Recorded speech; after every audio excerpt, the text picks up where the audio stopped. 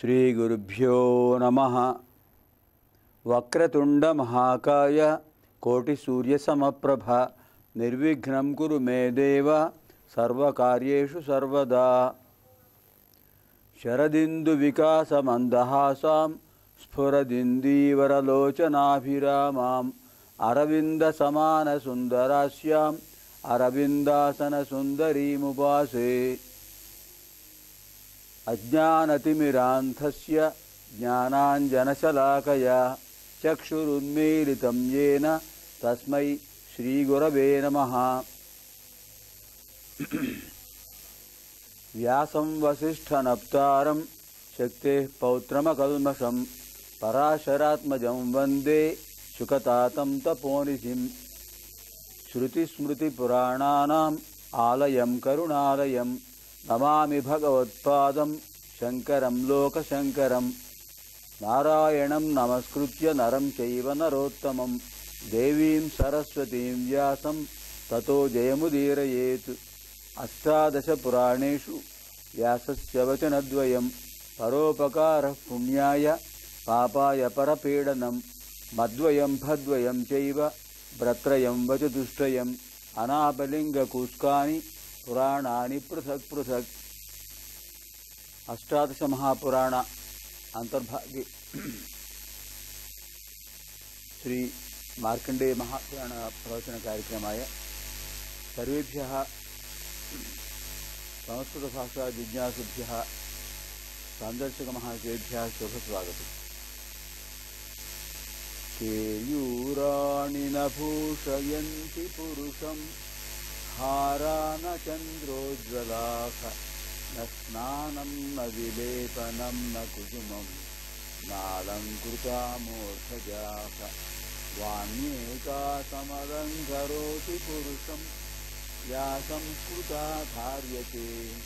क्षीयन्ते चिरभूषणानि सततं वाग्भूषणं भूषणम् पठामि संस्कृतं नित्यं पदामि संस्कृतं सदा ध्यायामि संस्कृतं सम्यक् वंदे संस्कृतमातरम् संस्कृत प्रसाराय नैज सर्वं ददाम्यहं संस्कृत सदा भक्तः वंदे संस्कृतमातरम् संस्कृत कृते जीवन् संस्कृतस्य कृते यजन् आत्मानमाहुतं मन्ये वंदे संस्कृतमातरं पाणिनिं सूत्रकारं च भाष्यकारं पतञ्जलिं, वाक्यकारं वररुचिं प्रणतोऽस्मि मुनित्रयम्। नृत्तावसाने नटराजराज, ननादढक्कां नवपंचवार उद्धर्तुकामः सनकादिसिद्धान् ఏతద్విమర్శే శివసూత్రజాలం. హ్యः కార్యక్రమే మానవజీవితస్య అశాశ్వతత్వముద్దిశ్య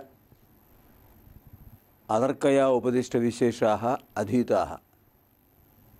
అద్య తత్పరిశిష్టాంశాः. మదాలసయా ఉపదిష్టాः అలర్కాయ అధ్యేతవ్యా నిన్నటి రోజుల కార్యక్రమంలో అలర్కుడికి తల్లి చెప్పినటువంటి మానవ జీవిత అశాశ్వతత్వానికి సంబంధించిన విషయాలు విన్నాం అధ్యయనం చేశాం. ఇవాళ మిగిలిన విషయాలు మదాల దేవి తన కుమారుడికి చెప్పిన మానవ జీవిత సంబంధ అంశాలు అధ్యయనం చేద్దాం. వ్యాఘ్రీవ తిష్టతి జరా పరిదర్జయంతి. మానవ జీవితం ఎంత అశాశ్వతము అనే విషయాన్ని ఈ శ్లోకంలో మనకు తెలుస్తుంది. ఆ విషయాన్ని ఒక సుభాషితంలో చెప్పారు పెద్దలు. వ్యాఘ్రీవ తిష్టతి జరా పరితర్జయంతి. జరా ముసలితనం వ్యాఘ్రీవ ఆడపులి వలె. వ్యాఘ్ర అంటే మగపులి. విసర్గలుంటే పుంలింగ పద శబ్దాలు. సామాన్య సూత్రం ఇది. విశిష్ట సూత్రాల్లో మార్పులు ఉంటాయి సామాన్యంగా పుంలింగ పదాలకు ఏకవచనంలో విసర్గలు ఉంటాయి పదం చివర. స్త్రీలింగ పదాలకు దీర్ఘాలు ఉంటుంటాయి నపుంసకలింగ పదాలకు మకారాలు ఉంటాయి రామ బాల శివ చంద్ర విద్ ఉపాధ్యాయ అధ్యాపక ఇవి భూమిలింగ పదాలు. సీత మాల వీణ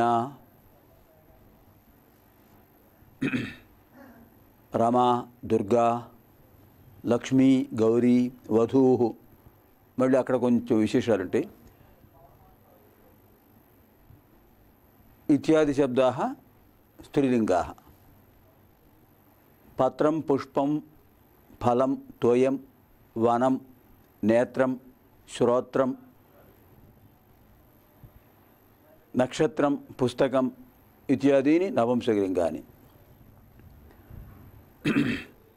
ఈ శ్లోకంలో మధురి పాదంలో ఏం చెప్పారు? వ్యాఘ్రీవ తిష్టతి జరా పరిదర్జయంతి. జరా ముసలితనం వ్యాఘ్రీ ఇవ ఆడపులి వలె పరితర్జయంతి.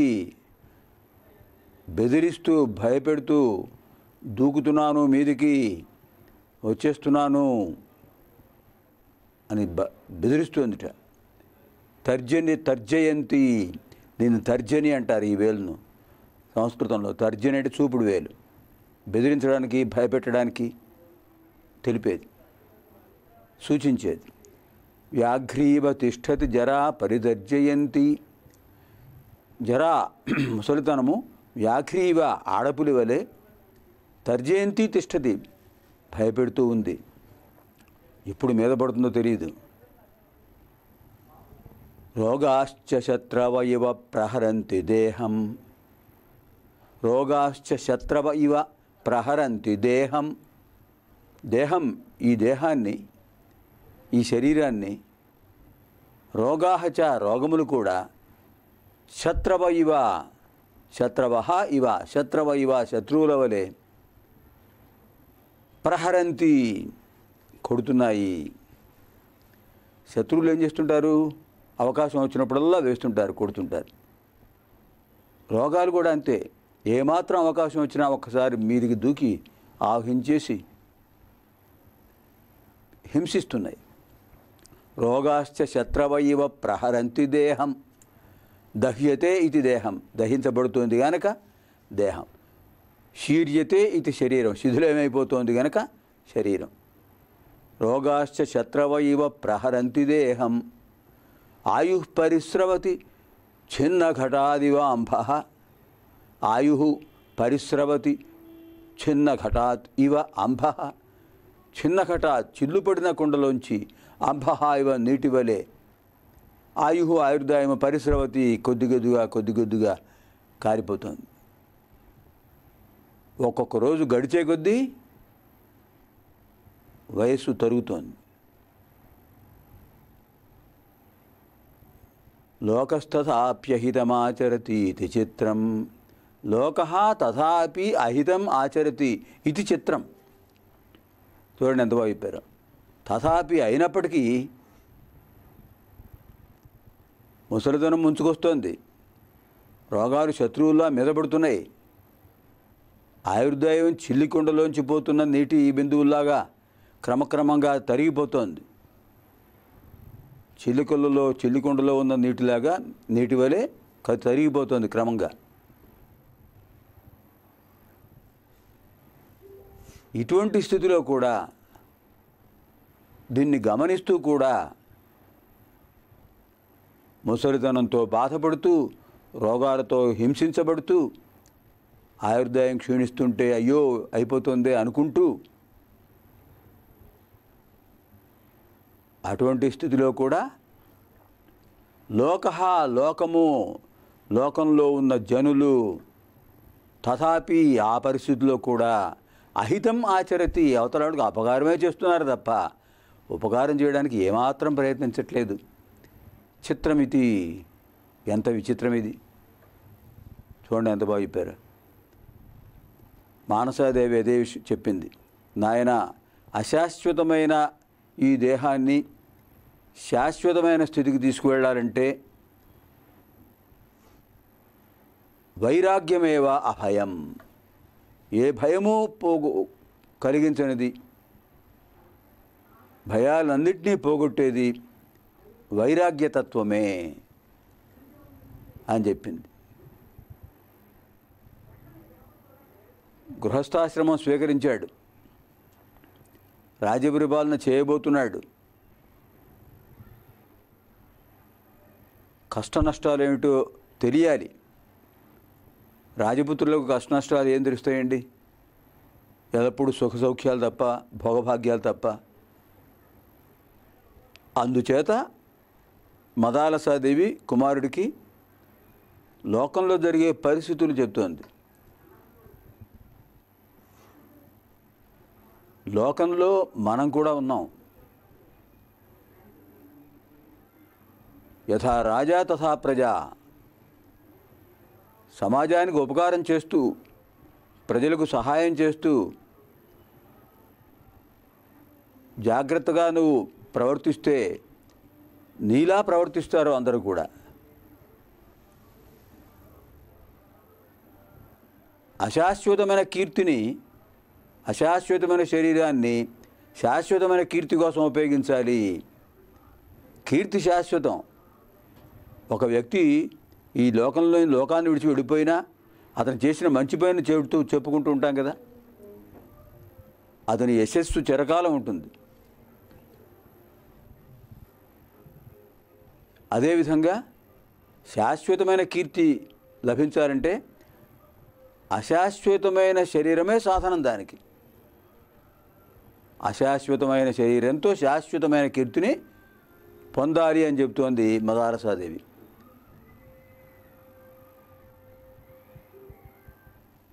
అందుకోసం ఏం చేయాలి? మానవుడికి ఉన్న ప్రత్యేక లక్షణం ఏమిటండి? జ్ఞానము.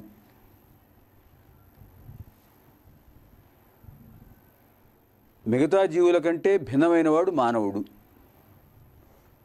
విచక్షణా జ్ఞానం కలిగిన వాడు మానవుడే. అందుచేత ఆ జ్ఞానాన్ని ఉపయోగించి విచక్షణా శక్తిని ఉపయోగించి తన కర్తవ్యాన్ని నిర్వహించుకుంటూ పోవాలి. అప్పుడు మాత్రమే శాశ్వతమైన కీర్తిని పొందుతాడు.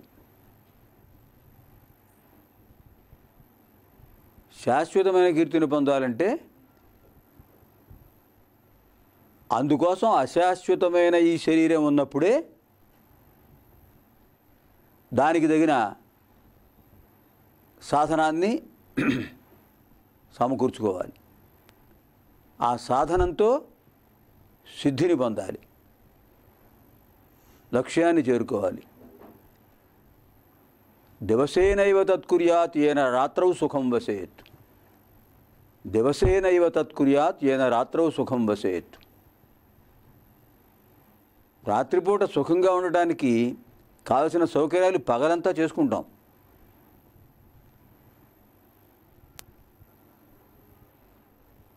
ఆ పనులు పగలు చేసుకోకపోతే రాత్రిపూట సుఖంగా నిద్ర పట్టదు అంటే రాత్రి సుఖనిద్రకు పగలంతా శ్రమపడటం ఇతరులకు సహాయం చేస్తూ మన కర్తవ్యాన్ని నిర్వహిస్తూ మన ధర్మాన్ని మనం అనుష్ఠ అనుష్ఠిస్తూ ఆచరిస్తూ ఉంటే తప్పనిసరిగా రాత్రి సుఖనిద్ర కలుగుతుంది.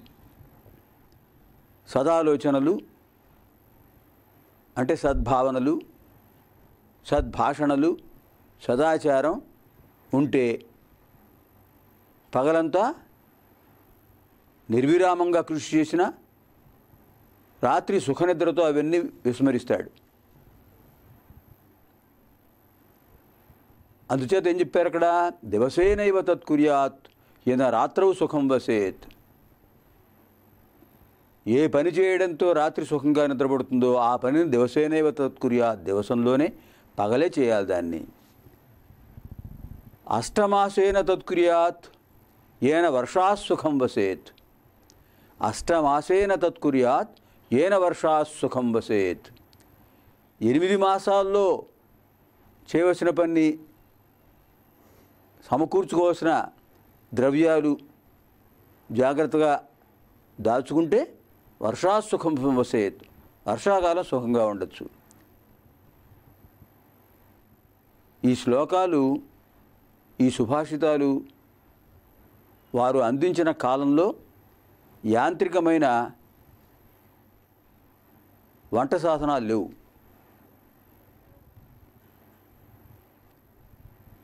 అగ్నిపేటికతో వెంటనే నిప్పు రాజేయటం. ఇలాంటివి సాధనాలు ఉండేవి గోవు శమీ వృక్షపు పలకలతో లేదా చెకుముకి రాళ్ళతో బాగా రాపిడి చేస్తే నిప్పు వస్తుంది. ఆ నిప్పుతో ఒక దూదినో లేతే గడ్డినో ముందు రగిల్చి తర్వాత కట్టెలు పెట్టి అన్నం వండుకోవటం. ఇంత కష్టపడేవాళ్ళు. ఆహారం తయారవడానికి. లేదా కందమూల ఫలాల కోసం వెతుకుతూ వెళ్ళవలసి వచ్చేది. ఎంతో దూరం వెళ్ళవలసి వచ్చేది. అడవుల్లో సంచరించవలసి వచ్చేది. అంత శ్రమతో కూడిన జీవితం అప్పుడు. మరి వర్షాకాలం నాలుగు నెలలు వర్షాలు పడుతుంటాయి.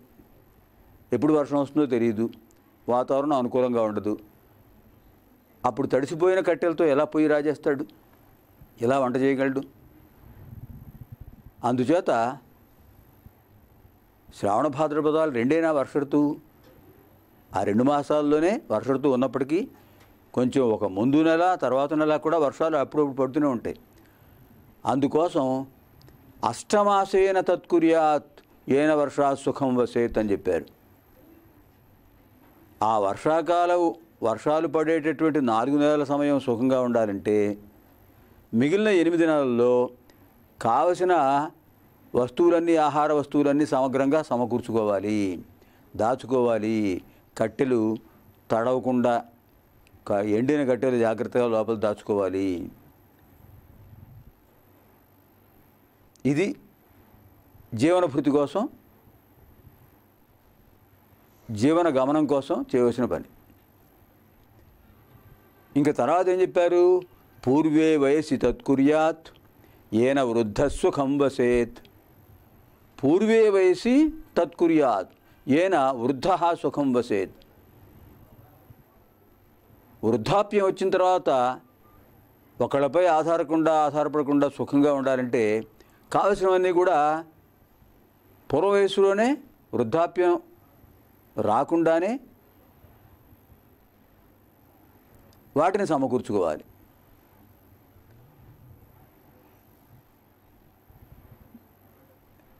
ఉద్యోగులకు జీవనభృతి కోసం ప్రభుత్వ సహాయం ఆర్థిక సహాయం అనేది ఆ కాలంలో ఉందా? లేదు. అందుచేత అప్పుడు ఏం చేసేవాడు అవకాశం ఉన్నప్పుడే శక్తి ఉన్నప్పుడే బాల్య కౌమార యవన దశల్లోనే జాగ్రత్తగా ధనాన్ని సమీకరించుకోవడం ధనాన్ని దాచుకోవడం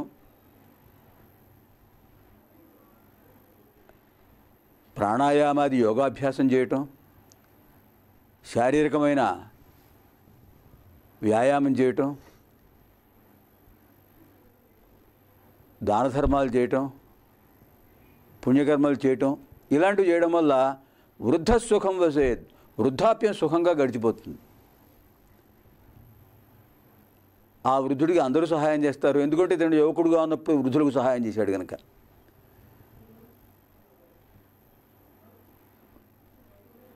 కావలసిన వస్తువులన్నీ జాగ్రత్తగా దాచుకున్నాడు కనుక పిల్లలను పెద్దవాళ్ళని చేసి వాళ్ళను మంచి స్థానంలో పెట్టాడు కనుక వాళ్ళు కూడా సదాచార సంపన్నులై తల్లిదండ్రులను వృద్ధాప్యంలో కాపాడుకుంటారు కనుక ఇన్ని విషయాలు కర్తవ్య నిర్వహణలో ధర్మ నిర్వహణలో ఉన్నాయి గృహస్థుడికి. ఇంకా అన్నిటికంటే విశేషమైనది ఏమిటి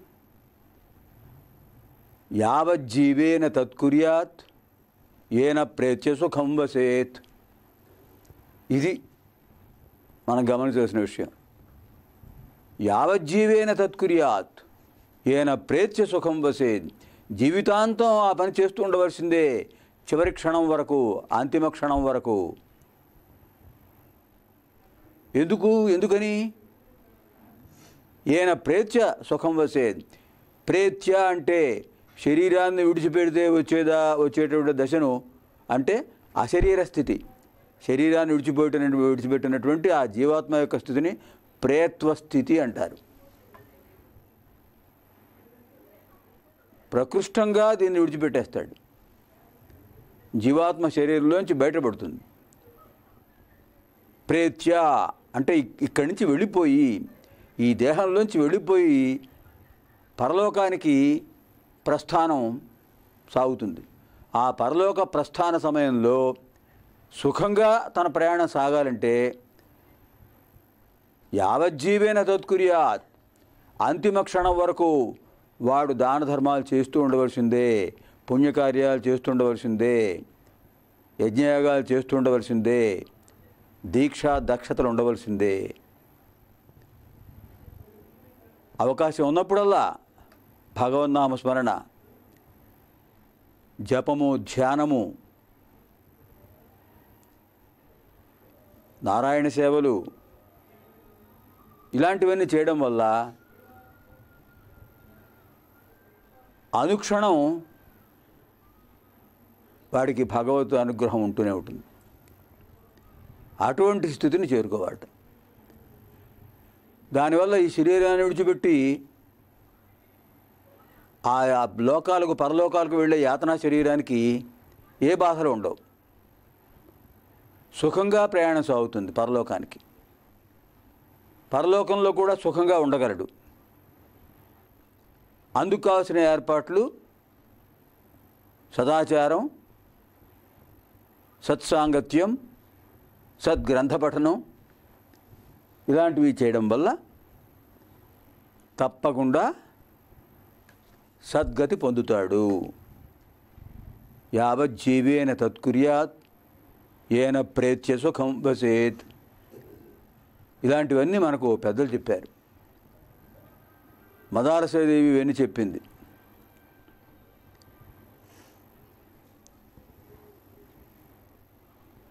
పిల్లలు పెద్దవాళ్ళు అయ్యారు అందరూ గృహస్థులయ్యారు. పైన ముగ్గురు కొడుకులు కూడా పెద్దవాళ్ళు ముగ్గురు కూడా మాకు రాజ్యం అక్కర్లేదు తమ్ముడికి ఇచ్చేసేయండి. మేము యోగాభ్యాసం చేసుకుంటూ ప్రాణాయామం చేసుకుంటూ వనవాసం చేస్తాం.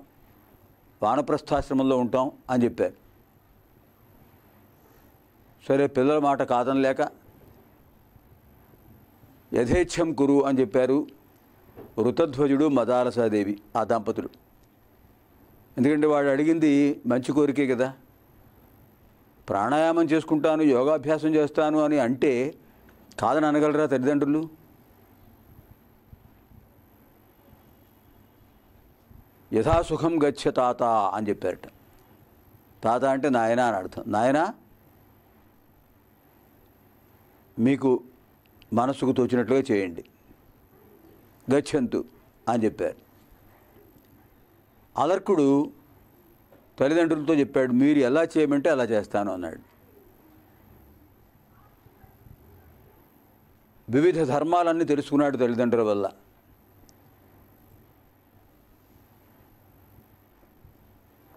రాజా రాష్ట్రకృతం పాపం.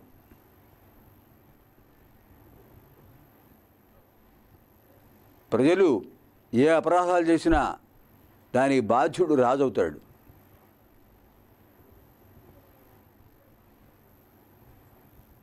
వాళ్ళకు ఆ సంకల్పం కలగకుండా దుష్ట సంకల్పాలు రాకుండా వాళ్ళను మంచి దారిలో మంచి మార్గంలో పెట్టవలసిన బాధ్యత రాజుది. అలా పెట్టలేనినాడు వాడి రాజరికం వ్యర్థం.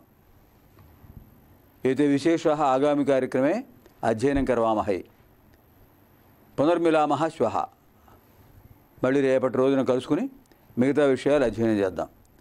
అపుత్ర పుత్రిణ సంతు పుత్రిణ సంతు పౌత్రిణ అసనా సథనా సంతు జీవంతు శరదాంశతం సర్వేత్ర సుఖిన సంతు సర్వే సంతు నిరామయా सर्वे भद्रा पश्यन्तु। माँ कश्चित् दुःखभाग् भवेत्। पूर्णमद पूर्णमदः पूर्णमिदं पूर्णात् पूर्णमुदच्यते पूर्णस्य पूर्णमादाय पूर्णमेवावशिष्यते।